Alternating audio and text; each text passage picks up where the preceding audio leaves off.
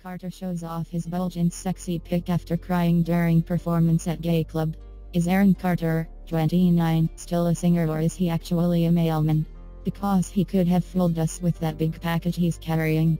The grown-up 90s pop star took to Instagram to show fans what he's working with on August 11th and it got super steamy. Aaron posted a mirror selfie from a bathroom in Milan, captioning the pic that bath was just what I needed let's just say, it definitely was the cold one. Scroll down to see the bulge.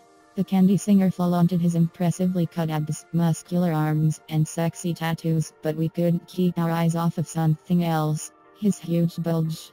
All he's wearing in the pic is a towel around his waist, and there's a very noticeable bump going on.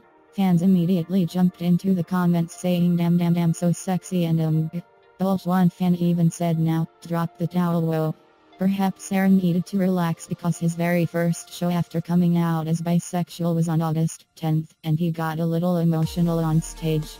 He was performing at Hamburger Mary's in Florida when he broke down in tears thanking fans for supporting him and confirming that he's bisexual. I am who I am and I'm going to play you guys a song no one's ever heard. He said, I wrote this song about my ex-girlfriend that I just left. So, bye Felicia Hugo, Aaron.